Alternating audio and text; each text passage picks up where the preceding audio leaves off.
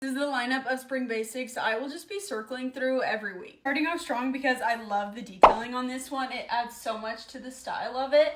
This is fully ribbed, so it's very stretchy and comfortable. Live without this one. This cut is so flattering and a cap sleeve is just way better than a short sleeve. I freaking love when like the racer back matches in the front. It is the most stunning shape, so this is definitely one of my favorites. This is perfect if you're like me and love a spaghetti strap, but hate the fact you can't wear a bra with it because this stitching is not only adorable but it also totally acts as a bra. How beautiful is this low V back? And then the fact that it matches in the front with the thick straps is just a different style to switch it up a little bit. This feels very on trend right now. The twist in the front makes everything look so good and is a unique style element while still being very simple. And lastly, this one is just screaming summer. Dress.